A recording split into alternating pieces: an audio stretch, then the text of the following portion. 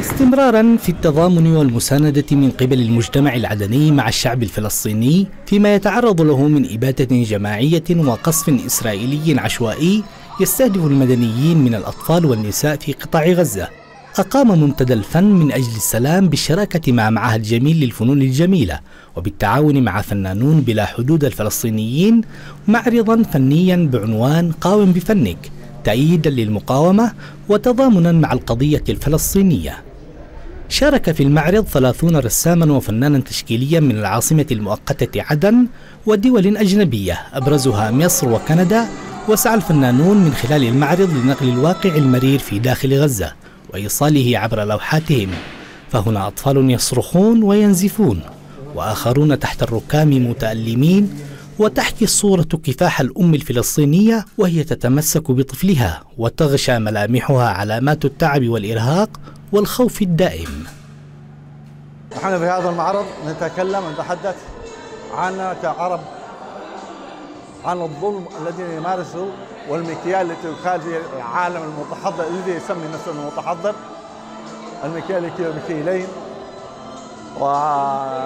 والديمقراطية التي يتكلموها عن وحشية الأطفال التي تتعرض لها في غزة وقتل الأطفال والأمهات وقتل الجنس البشري بشكل عام وتهجيره من غزة.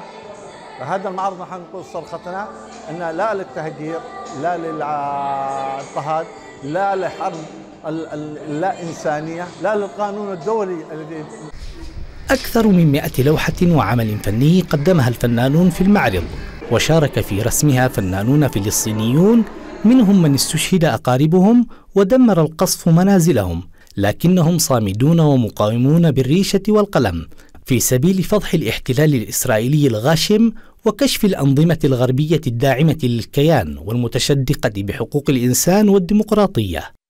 كل أعمالنا التي نقوم بها اليوم ورسوماتنا تجسد مدى الألم الذي يعتصر قلوبنا ومدى الغضب الذي آه، آه، يعتمل في نفوسنا لما يحدث من إبادة وتدمير شامل يستهدف الأطفال بدرجة رئيسية يعني حرب ماتوا فيها العديد من الأطفال والنساء. آه، تدمرت فيها البنية التحتية. آه، أطفال محاصرين لا, لا كهرباء لا ماء لا أدوية. آه، حرب تستهدف أيضا المستشفيات. ولهذا جاءت رسومات هذا اليوم. هي تضامنا مع غزة وأبناء غزة. ما عادت غزة في موقعها اليوم. غزة في كل عواصم العالم. في الضمير العالمي الإنساني كله.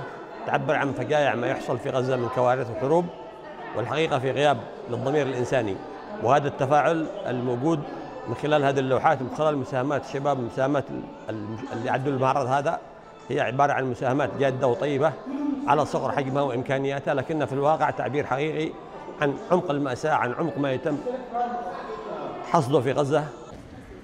معرض وإن بدا متواضعا لكنه خاطب العالم بلغة الفن حول ما يجري بقطاع غزة من جرائم الجيش الصهيوني ومن تعاون معه بحق الشعب الفلسطيني. كما حمل رسالة دعم ومحبة من الشعب اليمني لشقيقه الفلسطيني لبرنامج أسبوع البلد قناة المهرية عدن.